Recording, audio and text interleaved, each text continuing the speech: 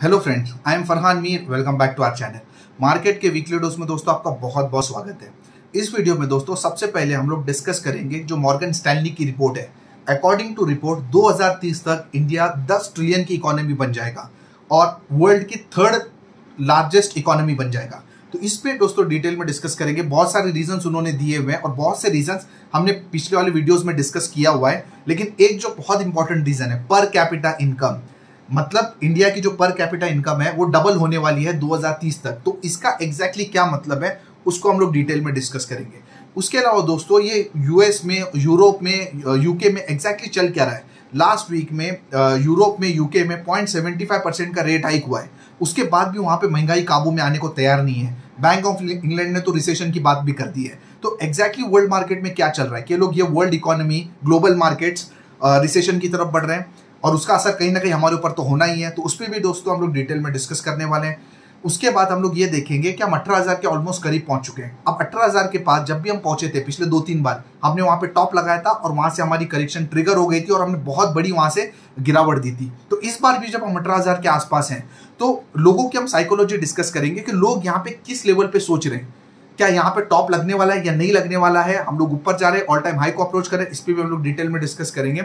इसके अलावा लास्ट एक दो वीक में दोस्तों डाउ जोन्स में बहुत अच्छी मूवमेंट आई, लेकिन नेस्डेक में गिरावट थम नहीं रही है। तो नेस्डेक का क्या हाल है? क्या नेस्डेक ने अपने बॉटम लगा लिए यहाँ से, या नेस्डेक की यहाँ से करेक्शन और बढ़ने वाली है? तो इसको भी हम लोग देखेंगे। नेस्डेक के जो डिफरेंट कंपोनेंट्स है गूगल अमेजोन इन सब के चार्ट्स के हिसाब से हम लोग बात करेंगे कि नेजडेक में आने वाले दिनों में क्या पॉसिबिलिटीज है। उसके बाद हम चार्ट पे देखें निफ्टी बैंक निफ्टी का एनालिसिस करेंगे ग्लोबल इंडाइसेस देखेंगे डिफरेंट सेक्टर्स की बात करेंगे gold silver rupee dollar crude oil ये सब एनालिसिस करके ये देखेंगे कि आने वाले हफ़्ते में मार्केट के लिए क्या पॉसिबिलिटीज बन रही है। एक बहुत ही पावरफुल नॉलेजेबल वीडियो होगा, जो पिछले हफ़्ते में क्या हुआ है, सब पता चल जाएगा। आने वाले हफ्तों में क्या होने वाला ये पता चल जाएगा। वीडियो को पूरा देखिए, आपके नॉलेज में ज़रूर इजाफा होगा।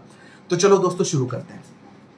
तो जो सबसे पहला आप जो पॉइंट है, वो है मॉर्गन स्टैनली की रिपोर्ट 2030 तक इंडिया जो है ना, वो 10 ट्रिलियन की इकोनॉमी बन जाएगा। इसके लिए मॉर्गन स्टैनली ने बहुत सारे रीजंस दिए हुए हैं। आप इस वीडियो को यहाँ पे पॉज कीजिए और देखिए कि क्या डिफरेंट रीजन है, जिसकी वजह से मॉर्गन स्टैनली को लगता है कि हम लोग दस ट्रिलियन की इकोनॉमी बनने वाले हैं। बहुत से रीजन ऑलरेडी मैं डिस्कस कर चुका हूँ, लेकिन जो एक इंपॉर्टेंट जो रीजन है, वो है पर कैपिटा इनकम उसके बारे में दोस्तों इस डिटेल में वीडियो में डिस्कस करेंगे। तो आप समझिए अकॉर्डिंग टू रिपोर्ट कि आज जो इंडिया की जो एवरेज पर कैपिटा इनकम है, वो है दो हज़ार दो सौ सैंतालीस two two four seven dollars जो कि 2030 तक ये पर कैपिटा इनकम 5500 डॉलर के आसपास हो जाएगी। इसका एग्जैक्टली exactly मतलब क्या है? इसका मतलब आप समझिए कि आज जो एक एवरेज इंडियन है, वो साल का दो हज़ार दो सौ सैंतालीस डॉलर कमाता है। इसका मतलब करीब करीब एक लाख अस्सी हज़ार रुपए साल का कमाता है। इसका मतलब एवरेज इंडियन महीने के पंद्रह हज़ार रुपए कमाता है।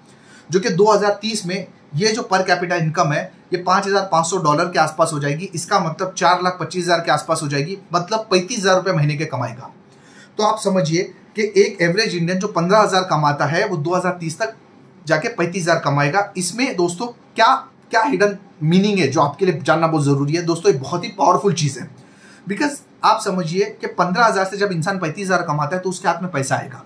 जब एक्स्ट्रा पैसा उसके हाथ में आएगा ना तो वो क्या करेगा? वो सेविंग करेगा, वो इन्वेस्टमेंट करेगा, वो स्पेंडिंग करेगा। लोगों के हाथ में पैसा आना बहुत ज़रूरी है, अगर किसी भी देश को तरक्की करना है तो। जब लोगों के हाथ में पैसा आएगा, तभी वो खर्चा करेंगे।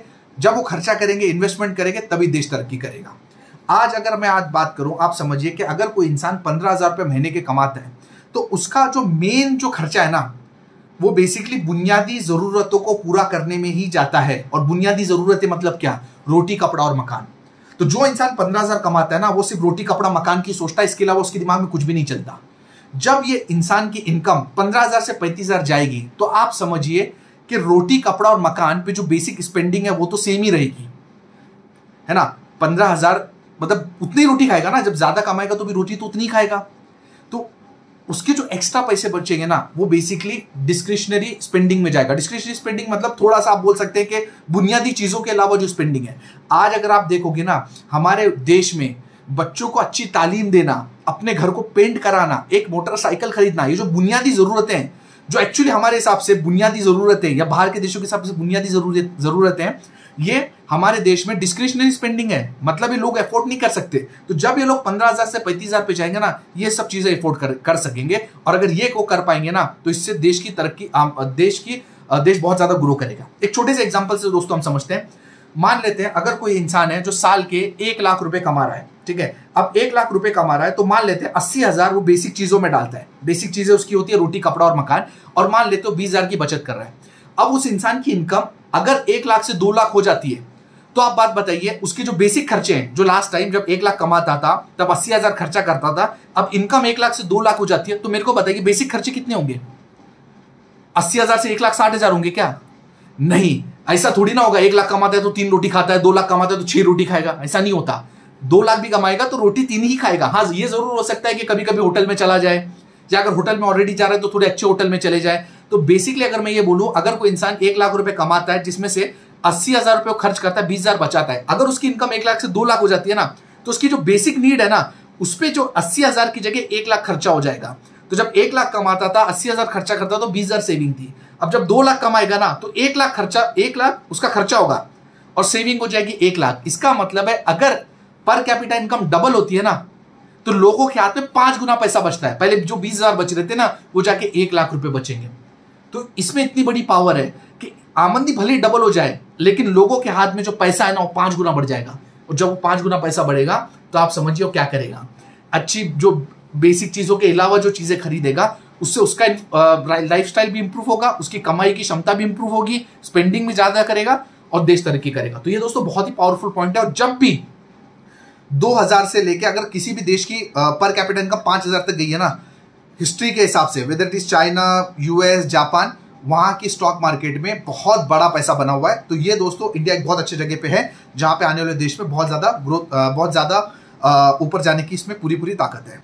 अब चलते दोस्तों, और ये देखते हैं कि यूएस यूरोप यूके में एक्चुअली चल क्या रहा है। इस, अगर ये चार्ट आप देखेंगे तो आप क्लियर देख सकते हैं कि इन्फ्लेशन और इंटरेस्ट रेट में कितना मिसमैच है। अगर हम इंडिया की बात करें ना, ये आफ्टर जो भी रेट हाइक वगैरह हुए हैं लास्ट वीक में जो यूएस में जो रेट हाइक हुआ था पॉइंट सेवेंटी फाइव परसेंट का, उसके बाद बैंक ऑफ़ इंग्लैंड ने भी रेट हाइक किया था। ये सब रेट हाइक एडजस्ट करने के बाद अगर आप देख सकते हैं कि इंडिया में जो इन्फ्लेशन है, वो 7.4 परसेंट का है और जो इंटरेस्ट रेट है, वो 5.9 परसेंट का है। मतलब जो डिफरेंस है, वो बेसिकली माइनस डेढ़ परसेंट का डिफरेंस है। वही यूएस में आप देखिए, ये difference minus four point two percent का है। अगर आप यूके और यूरोप में देखते हो तो माइनस सेवन पॉइंट नाइन और माइनस नाइन पॉइंट टू का डिफरेंस है।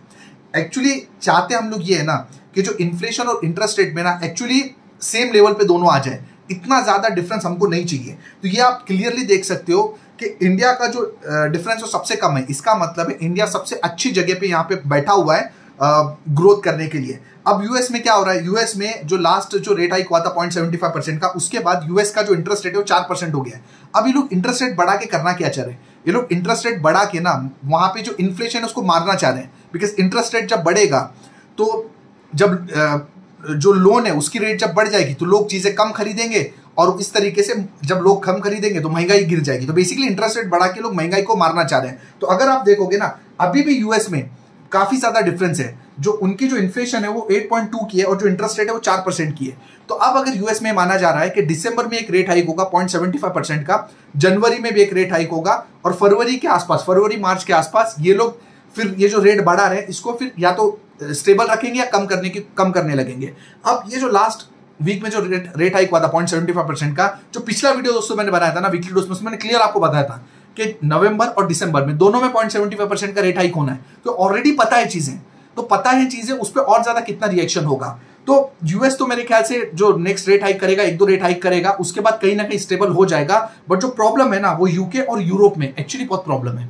इनकी जो महँगाई है ना, वो टेन पॉइंट टेन यूके में और टेन पॉइंट सेवेंटी परसेंट के बाद भी उनकी जो कॉमेंट्री है ना, उसके हिसाब से ऐसा लग रहा है कि भाई, अभी तो इनको और बहुत ज़्यादा गिरना है। मतलब और इन्फ्लेशन यहाँ की बढ़नी जिस हिसाब से बैंक ऑफ़ इंडियन बता रही बिकॉज़ सी मेजर रीजन आपको ऑलरेडी पता है कि इंडिया की जो इन्फ्लेशन है, वो बेसिकली क्रूड ऑयल है। क्रूड ऑयल कंट्रोल में हमारी इन्फ्लेशन कंट्रोल में आएगी।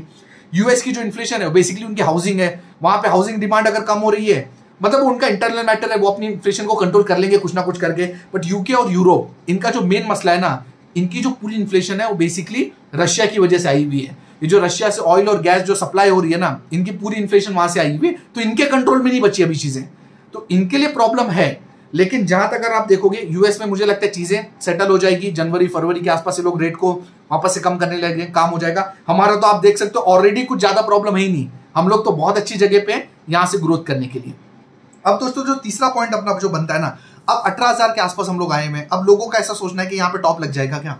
देखो, मेरा क्लियर ऐसा मानना है, जैसे मैं आपको पहले बता चुका हूँ कि अभी ये करेक्शन यहाँ से खत्म हो चुकी है। अब यहाँ से हमको बहुत ऊपर जाने को हम लोग तैयार हैं। बिकॉज़ आप समझिए कि बुल मार्केट में क्या होता है मालूम है?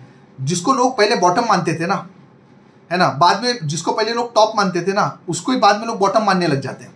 ठीक है? जैसे अब आप समझिए, जब हम लोग पंद्रह हज़ार छह सौ के आसपास थे, तब लोग क्या सोचते थे कि ज़्यादा से ज़्यादा सोलह हज़ार आठ सौ तक जाएगी। सोलह हज़ार आठ सौ तक जाएगी टॉप लग गया, बस खत्म। है ना? फिर जब सोलह हज़ार आठ सौ के ऊपर मार्केट चलने लगी, सत्रह हज़ार पाँच सौ तक, तब लोग क्या सोच रहे थे कि सोलह हज़ार आठ सौ तक आ जाए। मतलब सोलह हज़ार आठ सौ पहले लोगों को टॉप लगता था बॉटम लग रही है। अब यहाँ पे लास्ट वीक में जब मैं सत्रह हज़ार पाँच सौ के आसपास लोगों को बोलता था, खरीद लो। तब लोगों को क्या लगता था, अरे सत्रह हज़ार पाँच सौ बस, ये तो टॉप हो गया। अब अगर मार्केट अठारह हज़ार के ऊपर चलने लगी है ना, आप लोगों को सत्रह हज़ार पाँच सौ ना बॉटम लगने लग जाएगी। आप लोग बोलेंगे सत्रह हज़ार पाँच सौ तक आ जाए। इस तरीके से जब अब मार्केट और ऊपर जाएगी, अठारह हज़ार छह सौ पे जाएगी ना, तब लोग सोचेंगे, काश अठारह हज़ार पे हमको मिल जाए, लेकिन आज अठारह हज़ार पे ले नहीं सकते। तो बुल मार्केट में दोस्तों यही होता है, जो पहले लोगों को टॉप लगता है ना, वही लोगों को बॉटम लगता है और लोग कभी खरीद ही नहीं पाएँगे। आज भी आप देखिए, ऐसी इतनी मार्केट का जो धीरे धीरे जो मूवमेंट कर रही है और इतनी सारी बैड न्यूज़ है। मार्केट बस ये चाहते हैं लोग ना खरीदे और मार्केट मेरे ख्याल से, जिस हिसाब से मैं आजू बाजू चीज़ों को देख रहा हूँ इनफैक्ट मेरे ग्रुप में लोगों में इतनी निगेटिविटी हो चुकी है ना, मैं वो मैं वो लोग की हिम्मत नहीं हो रही खरीदने की। तो मेरे ख्याल से मार्केट एकदम सही प्लान कर रही है, जो करना चाहते हैं, वैसे ही हो रहा है, बढ़ती जा रही है, बढ़ती जा रही है। लोगों को पता भी नहीं चला, आज हम लोग अठारह हज़ार पे आके ठहरे हुए है ना? और अभी भी लोग वही बातें कर रहे हैं, पता नहीं पंद्रह हज़ार, सोलह हज़ार, चौदह हज़ार, पता नहीं क्या बात करें, कुछ नहीं होने वाला। एग्जैक्ट लेवल क्या है, उसके लिए हम लोग आगे वीडियो में जाकर डिस्कस करने वाले हैं और नेस्डेक की बात करनी है। तो चलो दोस्तों डायरेक्टली आप चार्ट पे चलते हैं और देखते हैं कि आगे क्या कहानी है। तो सबसे पहले तो दोस्तों, हम लोग नेस्डेक का चार्ट देख लेते हैं और नेस्डेक पे डिस्कशन करते हैं कि एग्जैक्टली कल चल क्या रहा है। तो यहाँ पे बेसिकली मैंने 200 हंड्रेड ई एम प्लॉट किया हुआ है और ये जो 200 हंड्रेड ई एम है ये वीकली 200 हंड्रेड ई एम है। तो अगर कोई भी इंडेक्स या स्टॉक अगर वीकली 200 हंड्रेड ई एम के नीचे चले जाता है ना तो ये बहुत ही ज़्यादा वीक माना जाता है। डेली 200 के नीचे जाने पर वीक माना जाता है। बट अगर वीकली पे गया तो आप समझिए कि प्रॉब्लम थोड़ी सी बड़ी है। कुछ सीवियर प्रॉब्लम है, अगर वीकली 200 के नीचे चला जाता है। तो आप देख सकते हैं कि एक बार नीचे चले गया नेस्डेक उसके बाद ऊपर आने की कोशिश की, लेकिन ऊपर लेवल पे सस्टेन नहीं कर पाया। अगेन इसने ब्रेक डाउन किया है। अब ये जो लेवल है नेस्डेक के लिए, या बोल सकते हो ये जो पुराना जो टॉप लगा था ये दस हज़ार के आसपास के, अगर इस लेवल के आसपास नेस्डेक सुधर जाता है तो आप समझ जाइए, ठीक है सिचुएशन अगर ये नहीं सुधरा यहाँ से फिर नीचे के बहुत बड़ी रूम ओपन हो जाएगी और तब तक जब तक कि इस लेवल के ऊपर नहीं आ जाता मतलब 11,300 के ऊपर तब तक नेस्डेक में बुलिश होने का कोई भी सवाल नहीं आता। अगर ये लेवल यहाँ से नीचे नेस्डेक तोड़ देता है तो बहुत ज़्यादा चांसेस है कि आने वाले दो तीन सालों तक नेस्डेक आपको अंडर परफॉर्म करता हुआ दिख जाए। अगर उसको ही देखने के लिए सबसे इंपॉर्टेंट है कि सिर्फ़ नेस्डेक नहीं नेस्डेक के चार्ज देख लेते हैं जो नेस्डेक में है। तो सबसे पहले अगर मैं अमेजोन की बात करूँ आप देखिए अमेजोन ने भी बेसिकली ये जो लेवल है इंपॉर्टेंट लेवल इसको लास्ट वीक में ब्रेक डाउन किया है। देखिए बहुत बार ऐसा होता है कि फॉल कैंडल बन जाती है और जो बहुत ही जल्दी खत्म हो जाती है। तो अगर ऐसी सिचुएशन बन जाती है तो ठीक है बट इंडिकेशन तो आ चुके हैं। इस लेवल को जो इंपॉर्टेंट लेवल थे, इसको अमेजोन ने ब्रेक कर दिया। ये कहीं ना कहीं एक चिंता की बात है। अगर हम गूगल की बात करें अमेजोन के बाद गूगल ने भी देखिए जो इंपॉर्टेंट लेवल थे 200 वीकली का लेवल अलॉन्ग विद दैट जो पुराना इंपॉर्टेंट जो सपोर्ट था, उसको भी ब्रेक कर लिया है। तो अमेजोन गूगल नेटफ्लिक्स तो ऑलरेडी इसका चार्ट तो ऑलरेडी पहले से ही खराब हुआ हुआ है। तो ये जो तीनों हैं इनफैक्ट जो नेक्स्ट है माइक्रोसॉफ्ट आप देखिए माइक्रोसॉफ्ट एग्जैक्टली टू हंड्रेड ई के आसपास है। तो इसका मतलब है, जो नेस्डेक के कंपोनेंट्स हैं, वहाँ से कुछ अच्छे इंडिकेशन नहीं आ रहे हैं। बिकॉज़ ये जो शेयर्स थे एक्चुअली बहुत ज़्यादा ओवर बहुत ज़्यादा एक्सपेंसिव भी हो चुके थे। पिछले कई टाइम से जो नेस्डेक का इंडेक्स है, वो इतना ज़्यादा चल चुका है ना कि काफ़ी ओवरबॉट भी हो चुका था, काफ़ी एक्सपेंसिव भी हो चुका था। तो अगर रेस्ट करता है तो भी कोई इशू नहीं है। तो आप अपने को आने वाले टाइम में ये देखना है कि नेस्डेक इस लेवल को होल्ड कर पाता है कि नहीं कर पाता। अगर नहीं कर पा रहा है तो आप समझिए कि फिर नेस्डेक यहाँ से आने वाले दो तीन सालों के लिए अंडर परफॉर्म करेगा और यही चीज़, उसके जो स्टॉक्स हैं, उससे एविडेंट है। क्योंकि जो स्टॉक मैंने हमने बात की अमेजोन वगैरह नेटफ्लिक्स माइक्रोसॉफ्ट अगर इस लेवल पे सुधर जाते तो ठीक है, यहाँ से गिर गए तो प्रॉब्लम बहुत ज़्यादा बढ़ सकती है।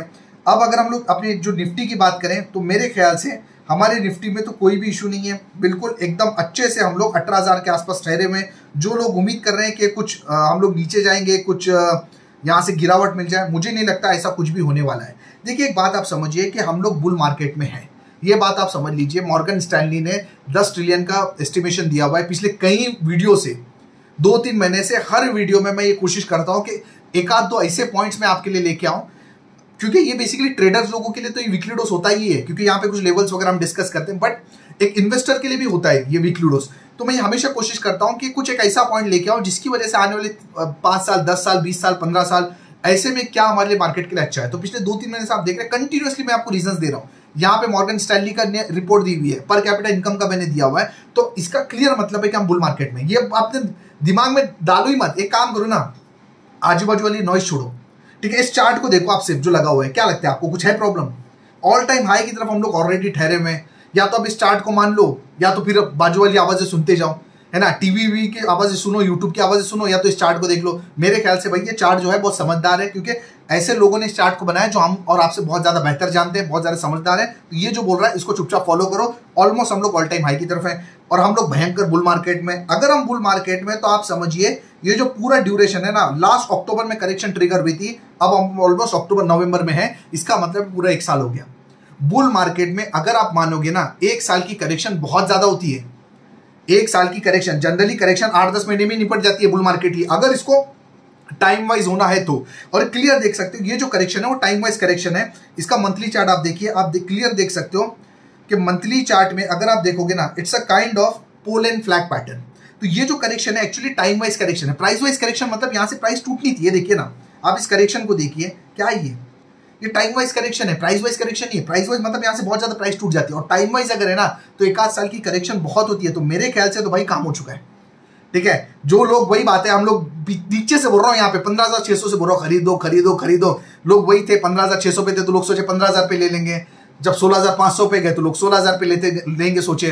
जब सत्रह हज़ार पाँच सौ पे थे, लोग सत्रह हज़ार पे लेने की सोच रहे थे। अब अठारह हज़ार पे, लोग सत्रह हज़ार पाँच सौ पे लेने की सोचेंगे।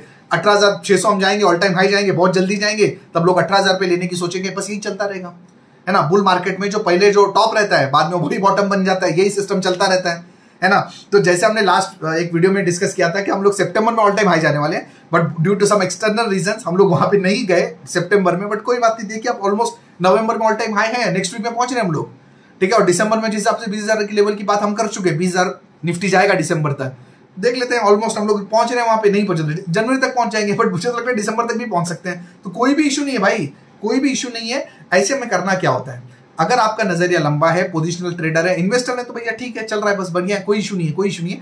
पोजिशनल ट्रेडर है तो आपके दिमाग में एक स्टॉप लॉस ज़रूर होना चाहिए और वो स्टॉप लॉस जो है इसको राइट करते चाहिए और वो स्टॉप लॉस मेरे ख्याल से ये जो गैप बना हुआ है ये जो गैप बना हुआ है यहाँ पे अगर एक गैप फिल हो जाता है इससे नीचे जाता हूँ मेरे को निफ्टी नहीं दिखता। मतलब आज हम लोग अठारह के आसपास है जो आपका स्टॉप लॉस है वो 17,800 के आसपास होना चाहिए। इनफैक्ट जब लास्ट वीडियो में मैं आया था तब मैंने आपको बताया था कि 17,350 आपका स्टॉप लॉस होना चाहिए। उसके पहले वाले वीडियो में मैंने आपको बताया था कि सोलह हज़ार आठ सौ आपका स्टॉप लॉस होना चाहिए। तो हर वीडियो में दोस्तों हम लोग स्टॉप लॉस को ट्रेल कर रहे और कभी स्टॉप लॉस कट नहीं रहा। तो बस चल ही रहे हम लोग जो पोजीशन नीचे बनी है। जिस दिन कटेगा उस दिन सोचा जाएगा। तो अब जो आपका जो स्टॉप लॉस है सत्रह के आसपास होना चाहिए। अगर मार्केट कल गैप डाउन हो जाती है तो आप अपने स्टॉप लॉस को ट्रेल करके इस लेवल पे भी ला सकते हैं जो कि है सत्रह हज़ार नौ सौ पचास। स्टॉप लॉस को ट्रेल कीजिए। ये डिसाइड मत कर लीजिए कि निफ्टी कहाँ से घूमेगी, जहाँ तक जा रही जाने दीजिए। अपनी चलाने की कोशिश मत कीजिए। जो मार्केट बोल रही है, उसको फॉलो कीजिए। स्टॉप लॉस को ट्रेल कीजिए। ये मत बोलिए कहाँ तक जाएगी। मार्केट में पूरा पोटेंशियल है, आपको अपसाइड पे सरप्राइज़ करे। डाउन साइड में सरप्राइज़ नहीं करेगी। ठीक है, आज अठारह हज़ार पे क्या बोलू मैं? पंद्रह हज़ार छह सौ पे बोल रहा था। डाउन साइड में सरप्राइज़ नहीं करेगी। आप साइड में सरप्राइज़ करने का पूरा पोटेंशियल है। तो पोजीशन मत छोड़िए। स्टॉप लॉस को ट्रेल कीजिए। बस, चल, चलने दो। कोई इशू नहीं है। अब जो आपका स्टॉप लॉस बनेगा, सत्रह का बनेगा। और अपनी पोजीशन को कैरी कीजिए बहुत जल्दी। मुझे ऐसा लगता है नेक्स्ट वीक में हम लोग ऑल टाइम हाई देख रहे हैं। अठारह का जो है ना ऑल टाइम हाई ये नेक्स्ट वीक हम लोग देख रहे हैं। मुझे ऐसा लगता है। जहाँ तक बैंक निफ्टी की भी बात है, कोई भी इशू नहीं है। एक अच्छे जो लेवल है, इसके आसपास बैंक निफ्टी रुकी हुई है। अब जो इमीडिएट अगर आपको स्टॉप लॉस चाहिए तो वो बनेगा चालीस हज़ार आठ सौ के आसपास का स्टॉप लॉस है। बैंक निफ्टी में आप देखिए। बाकी तो मिड कैप जो है, वो भी बढ़िया चल रहा है, उसमें कोई इशू नहीं है। निफ्टी जूनियर अगर देखोगे तो भी बढ़िया चल रहा है। प्रॉब्लम है स्मॉल कैप मानता हूँ मेरे बहुत से भाई लोग परेशान हैं अभी भी। उनको निफ्टी अठारह हज़ार आ गई, लेकिन उस बात की उतनी खुशी नहीं है। निफ्टी अठारह हज़ार आ गई, क्योंकि उनके पोर्टफोलियो अभी भी लाल हो रखे हैं। पिछले कई टाइम से बोल रहा हूँ मैं कि अब स्मॉल कैप का टाइम आ रहा है चलने का। अभी भी मैं ये बोल रहा हूँ। एग्जैक्टली exactly किस दिन होगा, किस वीक में होगा, बोलना मुश्किल है। लेकिन मेरे ख्याल से आने वाला टाइम स्मॉल कैप इंडेक्स का है। आपको बहुत, क्योंकि देखो ना, जब चलने लगेंगे ना तो मौका थोड़ी ना मिलेगा। दस दस परसेंट की कैंडल तो ऐसे बना लेंगे। तो मेरे ख्याल से बहुत जल्दी स्मॉल कैप इंडेक्स का टाइम आ रहा है, जैसे लोगों ने डिसबिलीफ में। है ना, अब अब बस लोगों से यही रीजन बची। है ना मतलब पहले बोलते थे निफ्टी नहीं चलेगी निफ्टी चल गई तो उनका रीजन ये है कि निफ्टी तो चल गई स्टॉक तो चल नहीं रहे। मतलब ये रैली मतलब ये रैली क्या बोलेंगे सस्टेन नहीं कर पाएगी। ठीक है, बस ठीक है, बढ़िया है। ऐसे ही सोचने दो लोगों को, चल रहा है, चल रहा है। अठारह के आसपास आ चुके हैं।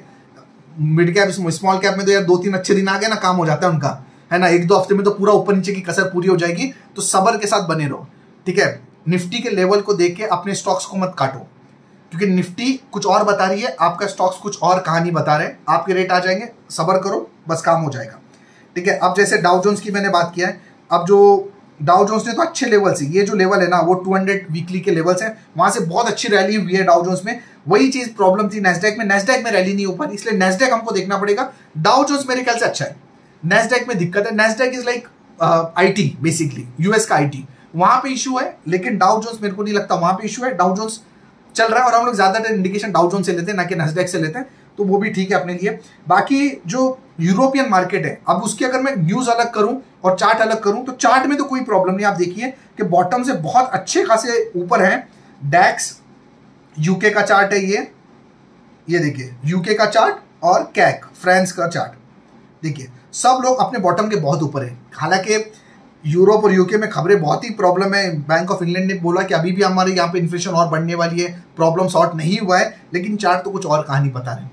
तो भाई, या तो चार्ट की मानो, या तो न्यूज़ की मानो, मैं तो चार्ट की मानता हूँ। प्रॉब्लम यहाँ पे सॉर्टेड होती हुई दिख रही है। और वैसे भी हमको ज़्यादा फ़िलहाल यूके से लेना देना मतलब यूरोपियन से यूके से ज़्यादा लेना देना नहीं है। अपना मेन फोकस जो होता है ना, वो यूएस पे होता है। तो यूएस मेरे ख्याल से सुधर रहा है, ज़्यादा कोई इशू नहीं है।